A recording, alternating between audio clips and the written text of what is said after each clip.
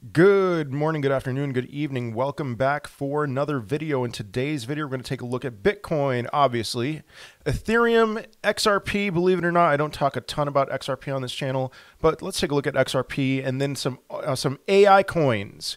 And so, lots of content to cover, lots of things to go over. And if you like this content, I would greatly appreciate it if you smash up that like button, subscribe to the channel, and leave a comment in the comment section.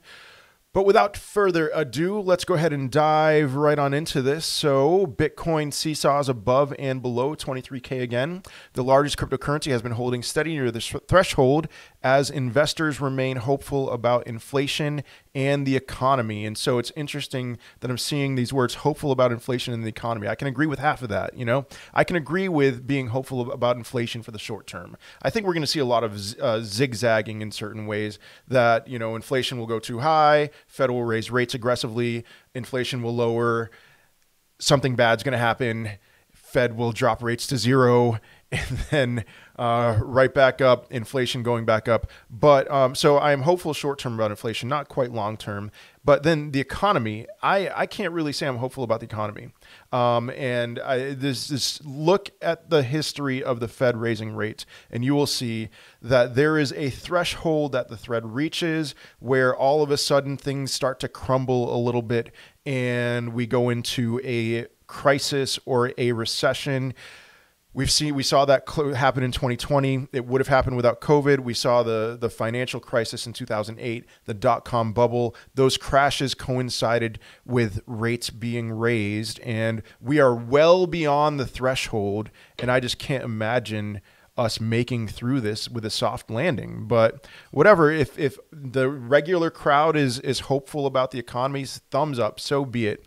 So, anyway, for the third time in four days, Bitcoin clambered above $23,000 before falling back as markets continued their hopeful watch of improving macroeconomic conditions. Cool, man. So far this week, no event has offset the recent narrative of falling inflation, gently slowing economic growth, and a U.S. central bank primed to raise interest rates at a more moderate pace than in 2022. Of course, I mean the the U.S. central bank was uh, was very aggressive in 2022 at a rate that we haven't seen in a long time in most of our lifetimes. And um, but I do want to point out the next article, and then I'm going to come back to this one.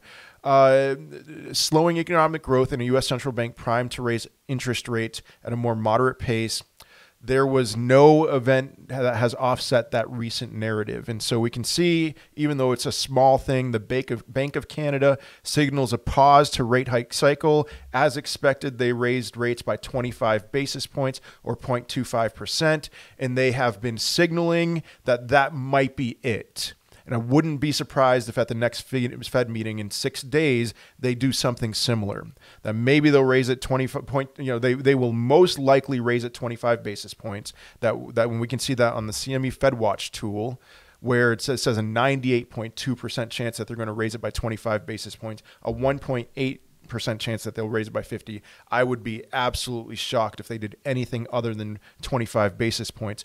But what I'm curious about is what they're going to hint at for next time. I wouldn't be surprised if they communicated an intention of raising rates another 25 basis points, but then we started seeing things coming out over the next four to six weeks, signaling that maybe they were about done and they were going to level off, that they weren't going to decrease, but they were going to level off. And so moving on, now that we start to see prices picking up, we're starting to see a lot of those traders throw in the towel. We're talking about FOMO here and just jump in to make sure that they don't miss the big surge off the bottom that we're now seeing. So Bitcoin got up to $23,000. It is currently around 25 20, sorry, 22.5, 22.6. It has cooled off a little bit and uh, there's there's a, a, bit of a wrestling going on here. For some people who bought in low, they're seeing Bitcoin up 30% from the bear market bottom or from the beginning of the year prices, I should say. And they're like, okay, that's good enough for me. I'm exiting. But then we're seeing this this uh, another way of throwing in the towel, which is what this analyst is talking about here, which is they're waiting for lows and those lows aren't coming. They're waiting for retracements. And so I talked about this on my Twitter account. I had a bid set last week for $19,500, hoping that it would get back down there from about $21,000. It made sense.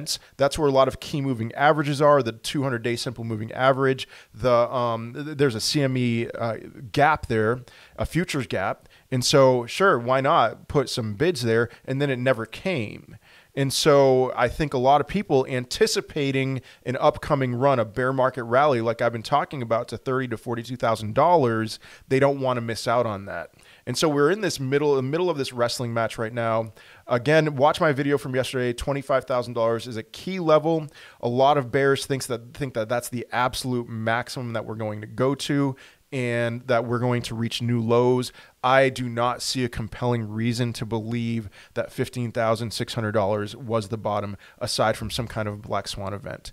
But okay, we looked at Canada signaling pauses to the rate hike. Not a huge deal, but just something to keep on your radar. We're seeing the CME uh, Fed Watch tool saying 98.2% chance that the Fed's going to only raise rates by 25 basis points. We'll see about next time. So what should we what should we think about Bitcoin right now? Here's my key level of resistance. So a little under $25,000, 24.5, but we could always wick above there. We've wicked above, we always wick above above certain levels when or below certain levels of resistance or below certain levels of support. But as far as I'm concerned, right now we are in a range. We're in a new range from last week. And so we broke through this 21.5 level that I've been saying was a, was another key level. We broke through that convincingly last Friday. And so now we're in this new range where I'm not sure about this one right here, the 21.8 level. We didn't face really any resistance there last week. We just cut through that like butter.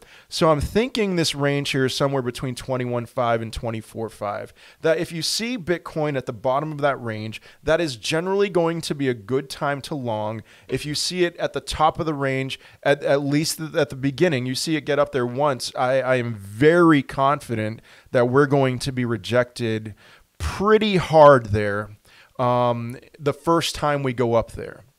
And so, other things that you got to be paying attention to stochastic RSI is coming down. I want to see it cool off, go down to about the 30 level, the 20 level before looking to enter new longs and um, and then MACD is also the MACD histogram is showing some light green, showing that it, it looks like it's going to cool off. And so the last two Fridays we had really big moves on those days in particular.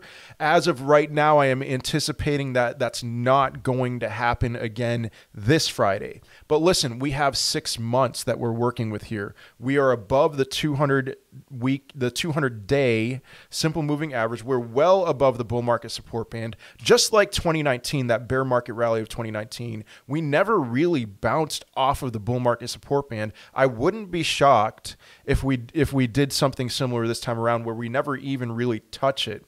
But if you look here, this this blue line, this dark blue line right here is the 200 day uh, EMA. And so we had a lot of hesitation around that level. And so perhaps we can see that hold as some kind of a support and a good EMA to long off of, but we're just going to have to wait and see with that. Um, uh, some other things that I'm looking at here, that's the same chart. Ethereum, I want to talk about, actually, I want to go back to this first article here because it talks about Ethereum. And I've talked about this as well. Bitcoin dominance is rising. I opened a long. I, have had longs and shorts. Or, sorry, I had longs in both Bitcoin and Ethereum. My Bitcoin long is up. My Ethereum long is down, which I find to be very interesting. You know, they go. They usually go hand in hand, but Ether fared less well, falling below 1550 for the first time in a week. The second largest cryptocurrent crypto by market value was off 5.7% from Monday at the same time. Other major cryptos declined later in the day to trade well in the red, with popular meme coins Doge and SHIB down more than 7 and 8%, respectively, and ADA off 8%. These are top 10 cryptocurrencies. You know, so what we're seeing, we're seeing Bitcoin dominance rise. That does not mean that there's going to be no options to get into some trades here for altcoins, but your best bet is going to be Bitcoin. But let's take a look at some positive things that I'm seeing with Ethereum. This is very important to pay attention to. Ethereum futures and options data reflect investors' growing confidence in ETH price. There is growing confidence and I'm going to show a chart that will very clearly point out that there is growing confidence in Ethereum. ETH price struggles to flip 1700 to support, but key derivatives data show bulls making plans to break through the resistance. And so I'm not going to read the words in this article, but I did pull out a chart from the article, and I'm, sum- I'm I'll, I'll summarize this. This is options premiums. And so what you typically want to see to show um, to show the, uh, some kind of communication and confidence in the future price of, of Ethereum is that the, the options would cost more, they, they would be more expensive. And so a healthy range for Ethereum at least is between 4 and 6% premiums. And you can see between November and very recently we saw premiums much lower than 4 to 6%. We are just now reaching that range, which means that smart money and institutions are growing in confidence in the future price of Ethereum. That is a good sign. Now, we have some things to work through. I, I grant you that. Um, Bitcoin dominance is still going to rise, but I don't think Ethereum is going to be left in the dust. You know, we saw Bitcoin do a 4x, almost a 5x in 2019, and we saw Ethereum do a 3x from its bear market bottom to its peak. Per, I don't think something similar is going to happen to that magnitude, especially because a, a 5x from Bitcoin's bear market bottom would put in a new all time high. But I do think that we have something to look forward to when it comes to price movement in the pro- positive direction. And the smart money is supporting that kind of a thought, you know, that kind of a claim. But we'll see we are moving very quickly. We need time to cool off, in my opinion. There's plenty of time to move forward. Moving on. XRP. Top analysts forecast imminent XRP surge. Oh, actually, oh no, I'm gonna. I, I had an Ethereum chart. I'll just not pay attention to that. Um, I, and you can ask me about that Ethereum chart at another time. But let's move on on to XRP. Top analyst forecast imminent XRP surge says Bitcoin and one low cap altcoin set to rally. So, ooh, what's this one low cap altcoin?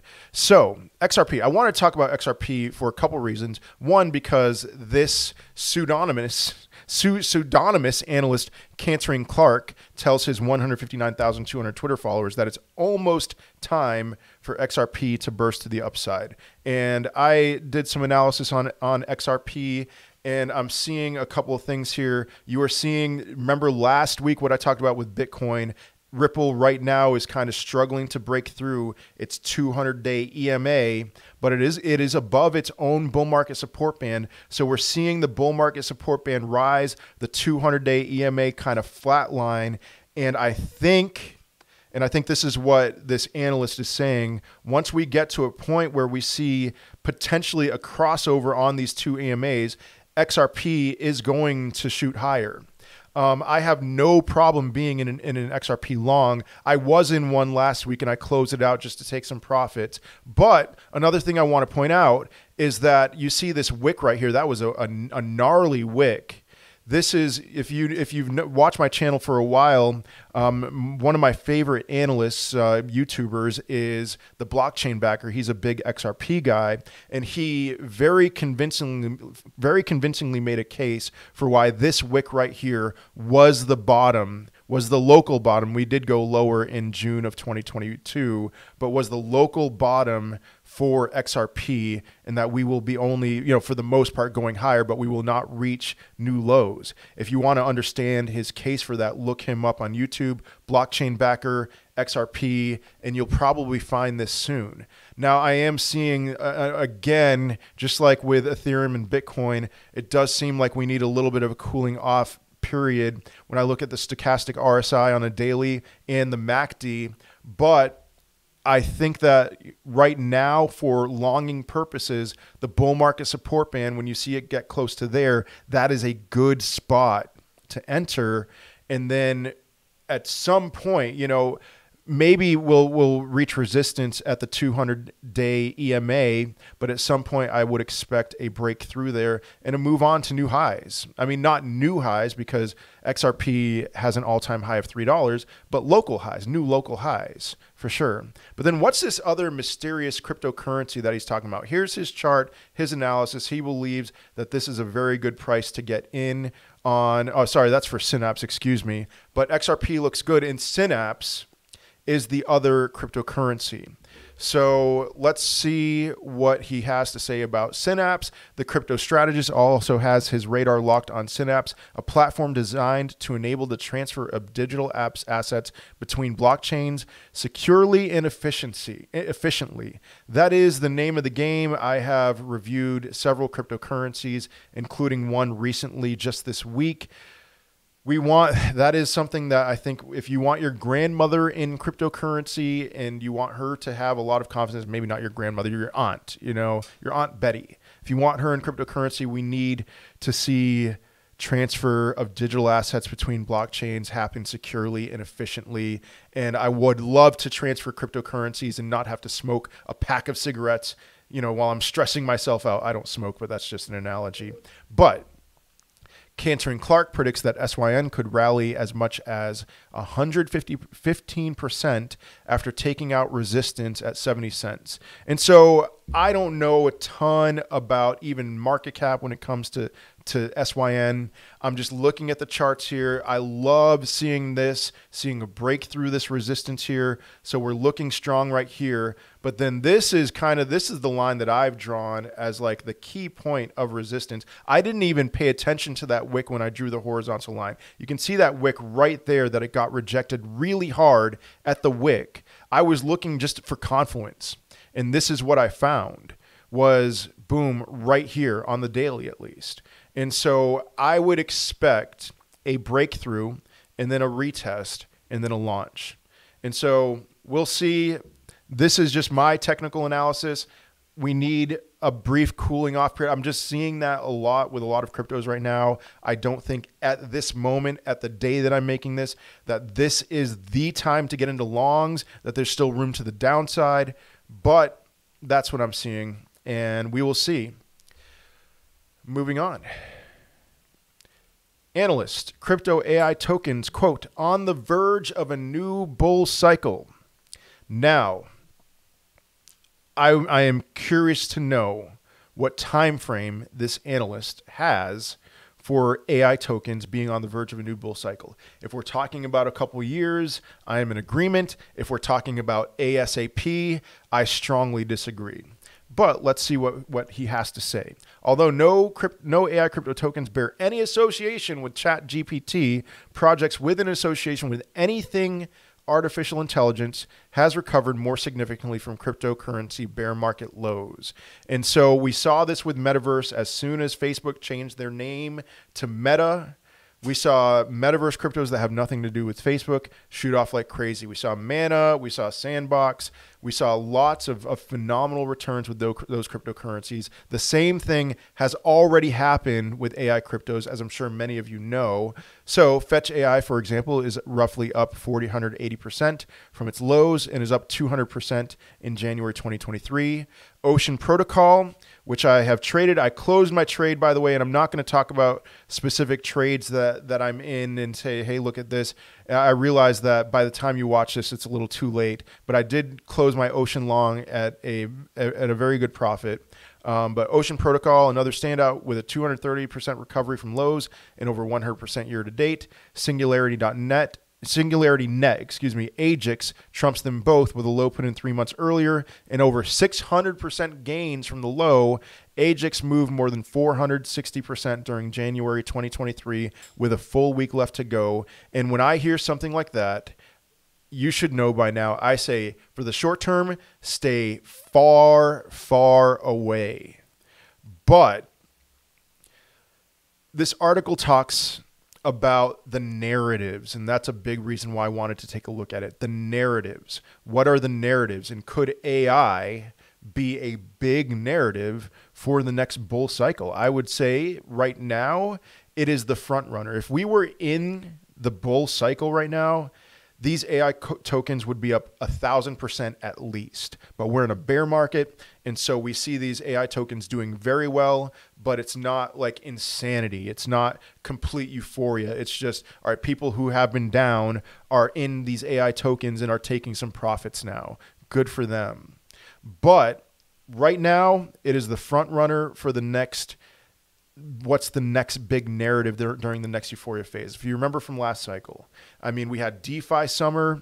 That was the first big one, and then we had um, we had I, I, would say the next one would be meme coins. After that, we saw the rise of Doge. Doge in 2020 was nothing. And I am telling you this as somebody who bought Doge in 2013, two weeks after it launched. Nobody thought or cared about Doge. 2021 was a different story, and we saw Doge and the rise of meme coins. That was a huge narrative. We saw NFTs become a narrative, and people do very well with NFTs. And then we saw Metaverse. And, and we saw with NFTs, Solana and Ethereum benefit greatly from that. But then, yeah, then we saw metaverse. And so those are the big things. We got to be constantly thinking what's the next narrative? AI right now, like I said, is a front runner. But what do you do with these particular cryptocurrencies? This these are examples. A big thing that I want to want to try to figure out is their their their tokenomics. You know, if you watch my would I buy videos, I focus a lot of my time in each video on each particular cryptocurrency's tokenomics. So Fetch AI, Ocean Protocol, Singularity, what are you doing? You know, how inflationary are you? How much of your crypto do you have vested that's due to be released sometime soon? Those are very important questions to ask. Now, for Fetch, I couldn't find much information, which always really bothers me. Um, but we see a current circulating supply of 746 million and a total so- token supply of 1.1 billion. So I would very much not expect by 2025 or something like that for all this 1.15 billion to be released. But we could see potentially some level of new tokens being dumped on the market. And I would say it's more than just the uh, a level that I'm comfortable with. I would assume that it's more than a 4% annual inflation, which is kind of my threshold for whether or not I would buy a cryptocurrency right now in January of 2023. I would not touch Fetch AI at the moment for that reason and because it's already pumped like crazy and don't chase green candles. You know, you know the drill with that.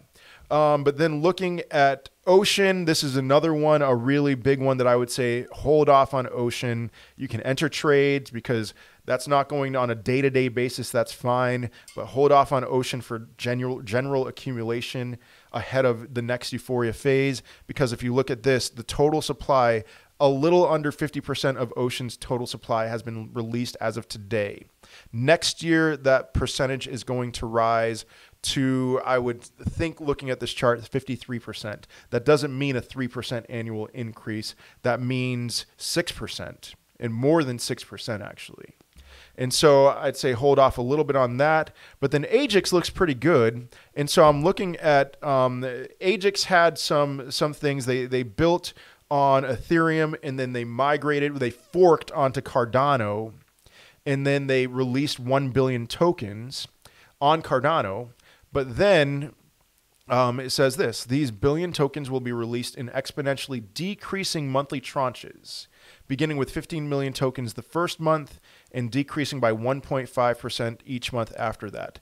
That is, in comparison, a low level of inflation to a point where after things cool off and the price comes back down to earth, I would feel more comfortable buying Ajax, Agix ahead of the next bull cycle, euphoria phase, the next narrative, whether we see another AI pump when everyone's really excited about cryptocurrencies, which the more I'm thinking about it, the more I'm confident. It's like, all right, Chat GPT was launched. That was a big deal, but we're going to see a lot more happen with AI. And so there should be some kind of AI narrative, I think, next time around but we'll see. Maybe maybe this is the AI narrative, but I think these anything AI, I will be loading up on a fair amount before the next halving or a little after the next Bitcoin halving in anticipation of, of some moves. But I will be aggressively taking profits no matter what, not waiting for any kind of narrative to develop. But anyway, that is all I have for today. I hope you enjoyed, and I hope you uh, like this content. And I'd love to hear your thoughts in the comment section. Um, what are you thinking about the market right now? About Bitcoin, Ethereum, XRP, Synapse, the AI tokens. I'd love to hear anything that you would have to say about any of those things. I'm always open and willing to discuss these topics. But otherwise, I hope you have a wonderful rest of your day, rest of your day, a wonderful day, a wonderful rest of your week, and I will see you in another video. Peace.